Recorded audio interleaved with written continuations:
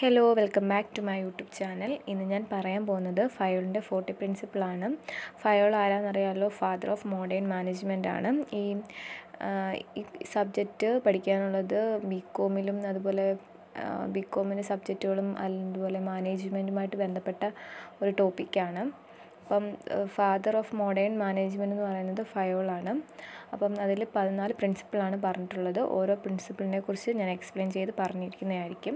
ഒന്നാമത് പറഞ്ഞിരിക്കുന്നതാണ് division of work whole work divide into small task and assign to employee where every one will get specialization and efficiency അപ്പോൾ ഒരു ഓർഗനൈസേഷന്റെ total വർക്കിനെ divide ചെയ്ത് small വർക്കായിട്ടുള്ള ആയിട്ട് എംപ്ലോയിക്ക് അസൈൻ ചെയ്ത് കൊടുക്കുന്നതാണ്. ഇതിലൂടെ സ്പെഷ്യലൈസേഷനിൽ ബെനിഫിറ്റ് കിട്ടുന്നു. ഇപ്പോൾ ഒരു മാനുഫാക്ചർ കമ്പനി എടുത്തു കഴിഞ്ഞാൽ അവിടെ പർച്ചേസ് സെയിൽ പ്രൊഡക്ഷൻ എന്നിങ്ങനെ ഡിവിഷൻസ് ഉണ്ടായിരിക്കുന്നതായിരിക്കും.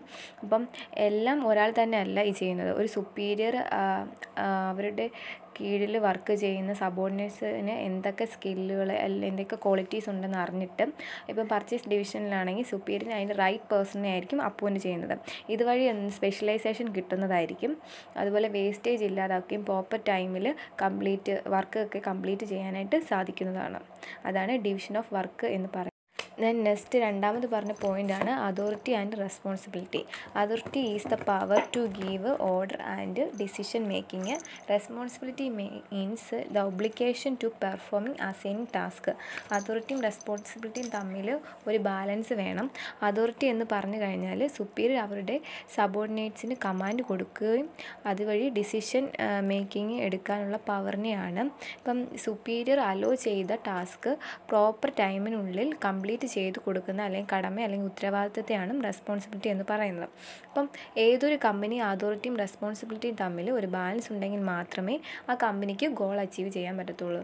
അതാണ് അതോറിറ്റി ആൻഡ് റെസ്പോൺസിബിലിറ്റി എന്ന് പറയുന്നത്. ഒന്നുകൂടി ഞാൻ പറയാം. അതോറിറ്റി എന്ന് പറഞ്ഞാൽ അതോറിറ്റി എന്ന് പറഞ്ഞു കഴിഞ്ഞാൽ സുപ്പീരിയർ അവരുടെ സബോർഡിനേറ്റിന് കമാൻഡ് കൊടുക്കുവാനും ഡിസിഷൻ മേക്കിങ്ങിന് എടുക്കാനുള്ള ഒരു പവറിനെയാണ് അതുപോലെ തന്നെ റെസ്പോൺസിബിലിറ്റി എന്ന് പറഞ്ഞാൽ സുപ്പീരിയർ അലോ ചെയ്ത ടാസ്ക് പ്രോപ്പർ ടൈമിനുള്ളിൽ കംപ്ലീറ്റ് ചെയ്ത് കൊടുക്കാനുള്ള കടമ അല്ലെങ്കിൽ ഉത്തരവാദിത്തത്തെ ആണ്. ദെൻ നെക്സ്റ്റ് മൂന്നാമത് പറഞ്ഞിരിക്കുന്ന പ്രിൻസിപ്പിളാണ് ഡിസിപ്ലിൻ എന്ന് പറയുന്നത്. It implies respect to the agreement rules and regulation design to secure obedience ഇപ്പം പേഴ്സണൽ ലൈഫിലും പ്രൊഫഷണൽ ലൈഫിലും വേണ്ട ഒരു ശീലം തന്നെയാണ് ഡിസിപ്ലിൻ എന്ന് പറയുന്നത്. അല്ലെങ്കിൽ അച്ചടക്കം.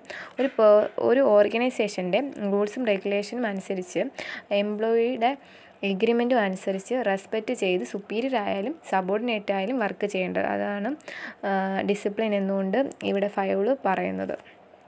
ദെൻ നെക്സ്റ്റ് നാലാമത്തെ പ്രിൻസിപ്പിളാണ് unity of command. Subordinate should receive order from one superior only. Otherwise there will be delay in work due to confusion. Unity എന്ന് പറയ യൂണിറ്റ് എന്ന് പറയുന്നത് ഒന്നൊന്നാണ്. അപ്പോൾ അതായത് ഒരു സബോർഡിനേറ്റ് ഓർഡേഴ്സ് റിസീവ് ചെയ്യുമ്പോൾ ഒരു ഒരേ ഒരു സുപ്പീരിയർ മാത്രമേ റിസീവ് ചെയ്യാവൂ. ഒന്നിലധികം സുപ്പീരിയറിൽ നിന്ന് ഓർഡേഴ്സ് റിസീവ് ചെയ്യുകയാണെങ്കിൽ അയാളുടെ വർക്കിൽ കൺഫ്യൂഷൻസ് ഉണ്ടാകും. അതുപോലെ തന്നെ വർക്ക് ഡിലേ ആവാനുള്ള കാരണവും ആയിത്തീരും. അതാണ് യൂണിറ്റി ഓഫ് കമാൻഡ് എന്ന് പറയുന്നത്. ദെൻ അടുത്തതാണ് അഞ്ചാമത്തത് unity of direction. There should be one head and one plan for set of activities having similar objective ഇപ്പം യൂണിറ്റി ഓഫ് ഡയറക്ഷൻ എന്ന് പറഞ്ഞു കഴിഞ്ഞാൽ ഇപ്പോൾ സെയിം ഒബ്ജക്റ്റീവ് ഉള്ള ആക്ടിവിറ്റി ഇപ്പോൾ ഒരു ഒരു ഹെഡ് സെയിം പ്ലാന് ഇംപ്ലിമെന്റ് ചെയ്യുക. ആ പ്ലാനിൽ ആ സുപ്പീരിയറിന്റെ നിർദ്ദേശങ്ങൾ അനുസരിച്ചായിരിക്കും എംപ്ലോയി വർക്ക് ചെയ്യേണ്ടത്. ദെൻ അടുത്ത് ആറാമത്തതാണ് subordination of individual interest and general interest the employee should should give the priority to general interest more than their personal interest ഇപ്പോൾ ഒരു ഓർഗനൈസേഷനിൽ സുപ്പീരിയർ ആയിട്ടും സബോർഡിനേറ്റ് ആയിട്ടും ഒരുപാട് ആളുകൾ ഉണ്ടായിരിക്കുന്നതായിരിക്കും. അപ്പോൾ ഓരോരുത്തർക്കും ഡിഫറെന്റ് ഒപ്പീനിയൻ അല്ലെങ്കിൽ ഡിഫറെന്റ് ഇൻട്രസ്റ്റ് ആയിരിക്കും. അപ്പോൾ ഓർഗനൈസേഷന്റെ ഗോൾ അച്ചീവ് ചെയ്യാൻ വേണ്ടി പേഴ്സണൽ ഇൻട്രസ്റ്റിനെക്കാട്ടിലും പ്രയോറിറ്റി കൊടുക്കുന്നുണ്ട് ജനറൽ ഇൻട്രസ്റ്റിനായിരിക്കണം എന്നാണ് ഈ ഫയോളി പ്രിൻസിപ്പിളിലൂടെ പറയുന്നത്. ദെൻ നെക്സ്റ്റ് അടുത്തത് ഏഴാമത് പറഞ്ഞിരിക്കുന്നതാണ് remuneration remuneration should be fair and satisfy the employees reasonable standard of living but it should be within the paying capacity of an organisation ഇപ്പോൾ ഒരു ഓർഗനൈസേഷന്റെ ഓവറാൾ പേയ്മെന്റ് അല്ലെങ്കിൽ കോമ്പൻസേഷൻ ഡിവൈഡ് ചെയ്യുമ്പോൾ രണ്ട് കാര്യങ്ങളാണ് ശ്രദ്ധിക്കേണ്ടത്.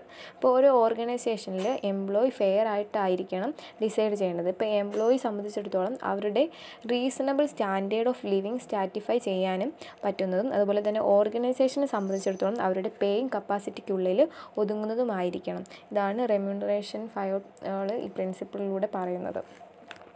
ദെൻ എട്ടാമത് പറഞ്ഞിരിക്കുന്നതാണ് centralisation the management must decide the centralisation and decentralised degree of authority ഇപ്പം ഒരു ടോപ്പ് മാനേജ്മെന്റ് മാത്രം അതോറിറ്റിയും ഡിസിഷൻ മേക്കിങ്ങിനുള്ള പവറും എല്ലാം ഒതുങ്ങുന്നതിനെയാണ് സെൻട്രലൈസേഷൻ എന്ന് പറയുന്നത്. അതുപോലെ തന്നെ ഡീസെൻട്രലൈസേഷൻ എന്ന് പറഞ്ഞു കഴിഞ്ഞാൽ സെൻട്രലൈസേഷൻ എന്ന് പറഞ്ഞു കഴിഞ്ഞാൽ ഇപ്പോൾ ടോപ്പ് മാനേജ്മെന്റ് ബേർഡൻ ഒഴിവാക്കാൻ വേണ്ടി ഡിഫറെന്റ് ലെവൽ ഓഫ് മാനേജ്മെന്റ് അവർ അതോറിറ്റിയും റെസ്പോൺസിബിലിറ്റിയും ഡിസ്പോസ് ചെയ്ത് കൊടുക്കുന്നതിനെയാണ് ഇപ്പം ഡീസെൻട്രലൈസേഷൻ എന്ന് പറയുന്നത്. ദെൻ നെക്സ്റ്റ് ഒമ്പതാമത് പറയുന്ന പ്രിൻസിപ്പിളാണ് സ്കാലാർ ചെയിൻ എന്ന് പറയുന്നത്. Formal line of authority and communication formal line of authority and communication represent ചെയ്യുന്നത് ഒരു മോഡലാണ് ഇത് രണ്ട് രീതിയുണ്ട്. Top to bottom and bottom to top. Top to bottom എന്ന് പറഞ്ഞാൽ ഒരു മെസ്സേജ് കൺവേ ചെയ്യുന്നത് ടോപ്പ് മാനേജ്മെന്റിൽ നിന്ന് lower level management and employees ആയിരിക്കും. അതുപോലെ തന്നെ ബോട്ടം ടു ടോപ്പ് എന്ന് പറഞ്ഞാൽ ഏറ്റവും താഴെ നിന്ന് മുകളിലേക്ക്. ഇപ്പോൾ എംപ്ലോയീസ് അവരും ഒരു മെസ്സേജ് അങ്ങോട്ട് ഇപ്പം വലിയ ടോപ്പായിട്ടുള്ള മാനേജേഴ്സിനിലേക്ക് മെസ്സേജ് കൊടുക്കുന്നതാണ്. ബോട്ടം ടു ടോപ്പ് എന്ന് പറയുന്നത്. ടോപ്പ് ടു ബോട്ടം എന്ന് പറഞ്ഞു കഴിഞ്ഞാൽ ഒരു മെസ്സേജ് കൺവേ ചെയ്യുന്ന ടോപ്പ് മാനേജ്മെന്റിൽ നിന്ന് ലോവർ ലെവൽ മാനേജ്മെന്റ് അതുപോലെ തന്നെ ബോട്ടം ടു ടോപ്പ് എന്ന് പറഞ്ഞാൽ ലോവർ ലെവൽ മാനേജ്മെന്റിൽ നിന്ന് ടോപ്പ് മാനേജ്മെന്റിലേക്ക് അതാണ് സ്കേലർ ചെയിൻ എന്ന് പറയുന്നത്. ദെൻ നെക്സ്റ്റ് പത്താമത് പറയുന്നതാണ് ഓർഡർ എന്ന് പറയുന്നത്. A place for everything and everything ഈ ഇൻ ഇറ്റ്സ് പ്ലേസ് എന്ന് പറഞ്ഞു കഴിഞ്ഞാൽ ഇപ്പോൾ ഏതൊരു വ്യക്തിക്കായാലും ഒരു വസ്തുവിനായാലും അതിന്റെ ഒരു സ്ഥാനമുണ്ട്. അപ്പം ഓർഡർ മെയിന്റെയിൻ ചെയ്ത് കഴിഞ്ഞാൽ പല തടസ്സങ്ങളും ഉണ്ടാകാതെ പ്രൊഡക്ടിവിറ്റി ഇൻക്രീസ് ചെയ്യാൻ സാധിക്കത്തുള്ളൂ. അതുവഴിയാണെങ്കിൽ കമ്പനിക്ക് ഗോൾസ് അച്ചീവ് ചെയ്യാൻ സാധിക്കും. ദെൻ നെക്സ്റ്റ് പതിനൊന്നാമത് പറയുന്നതാണ് ഇക്വിറ്റി എന്ന് പറയുന്നത്. It emphasising the kindliness and justice in the behaviour of manager towards work. അപ്പം ഫേവറിസം ഓർഗനൈസേഷൻ നടക്കാനിടയുള്ള ഡിസ്ക്രിമിനേഷൻ ഇതെല്ലാം ഒഴിവാക്കിക്കൊണ്ട് ഇപ്പോൾ ജസ്റ്റിസ് ആയിട്ടും ഫെയർ ആയിട്ടും എല്ലാ എംപ്ലോയിനും ഈക്വലായിട്ട് കാണുക എന്നതാണ് ഇക്വിറ്റി എന്ന് പറയുന്നത്. ദെൻ പന്ത്രണ്ടാമത് പറയുന്നതാണ് stability of personnel minimising employee turnover ആണ് സ്റ്റെബിലിറ്റി ഓഫ് പേഴ്സണൽ എന്ന് പറയുന്നത്. ഇപ്പോൾ എംപ്ലോയിയുടെ ടേൺ ഓവറിനെ മിനിമൈസ് ചെയ്യുക എന്നതാണ്. ദെൻ നെക്സ്റ്റ് അടുത്തത് പറയുന്നതാണ് ഇനിഷ്യേറ്റീവ് എന്ന് പറയുന്നത് the first step of self motivation it should be encourage if it's does not violate the organisational concept ഇപ്പോൾ ഏതൊരു കാര്യവും മുന്നിട്ട് ഇറങ്ങി ചെയ്യുവാൻ ഉള്ള മറ്റൊരു ആളുടെ നിർബന്ധത്തിലല്ലാതെ സ്വയം മുന്നോട്ടിറങ്ങി ചെയ്യാനുള്ള കഴിവിനെ പ്രോത്സാഹിപ്പിക്കുക ചെയ്യുന്നതാണ് ഇനിഷ്യേറ്റീവ് എന്ന് പറയുന്നത്.